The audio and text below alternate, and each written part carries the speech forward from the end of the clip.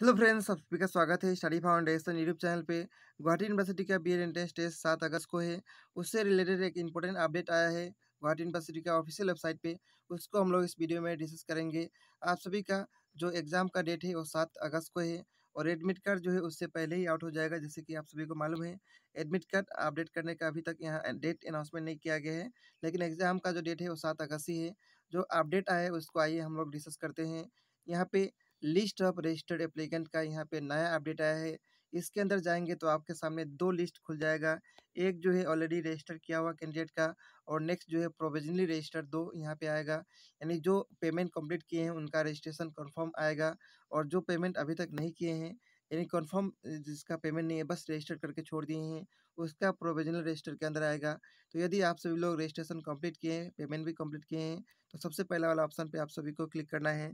इस पर क्लिक करेंगे तो आपके सामने यहाँ पे पीडीएफ मिल जाएगा जिसको डाउनलोड करके आप सभी लोग देख पाएँगे। इस पीडीएफ के अंदर आप सभी को एप्लीकेशन नंबर, एप्लीकेंट का नाम, सेंटर का चॉइस, फ़र्स्ट, सेकेंड और थर्ड चॉइस ये सभी मिल जाएगा। तो डिस्क्रिप्शन बॉक्स में आप सभी को इसका डायरेक्ट लिंक मिलेगा, उस पर क्लिक करके अपना रजिस्ट्रेशन नंबर, नाम और आप सभी का जो रजिस्ट्रेशन कंफर्म हुआ है, नहीं हुआ है, वो आप सभी लोग चेक कर पाएँगे।